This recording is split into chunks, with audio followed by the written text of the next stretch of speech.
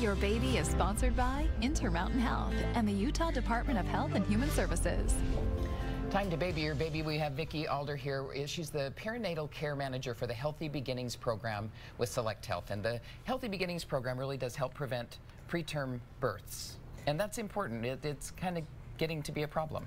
Exactly. We've seen a little rise nationally in the last little bit, about 4% between 2020 and 2021.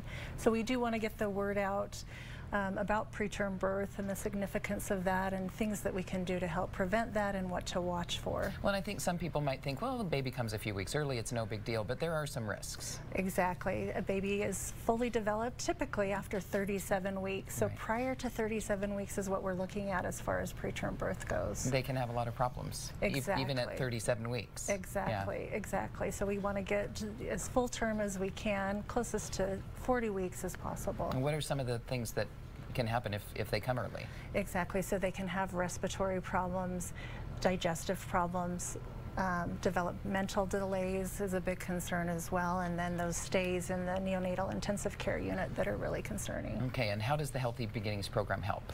Yeah, and the Healthy Beginnings program, we have caregivers um, that work with Select Health in this program, and we work with members directly, so you get that one-on-one -on -one care. Mm -hmm. We help identify those preterm labor symptoms.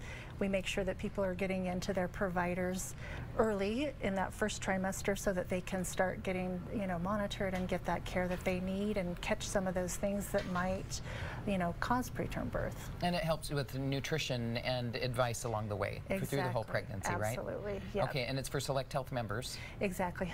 Select Health members that are, are obviously are pregnant members.